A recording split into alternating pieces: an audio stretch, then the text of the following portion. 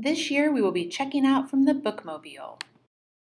During checkout time, only one student at a time will be allowed to come back to the Bookmobile.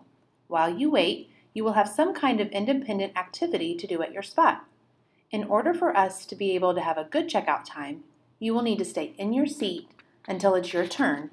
You'll need to work by yourself and work quietly. Notice how Gerald, Piggy, the very hungry caterpillar, and even our Henri Pigeon are following all of those directions. Pigeon was working the quietest, so I called him back to the bookmobile. Sometimes I might choose the quietest student, I might call you back in order of your rows, or I might even use the randomizer button in Dojo to choose who gets to check out first, second, and so on. Everyone that brings their books back will get a chance to come to the bookmobile.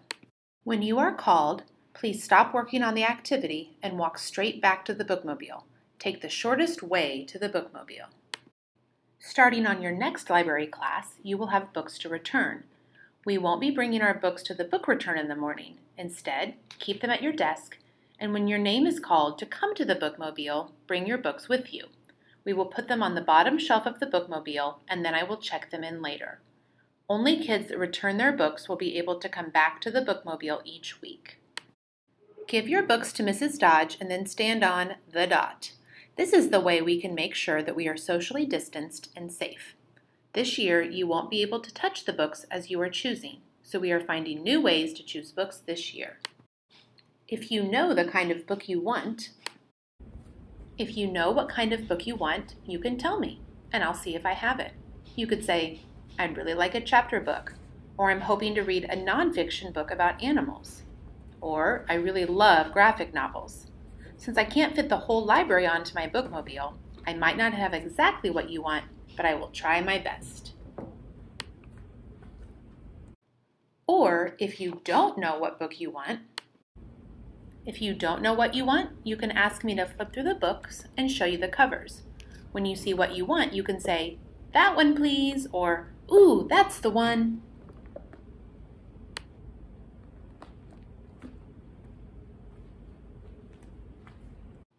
We have to allow time for all classmates to choose, so you will need to make a quick choice. The books on the bottom of the bookmobile are not available for checkout.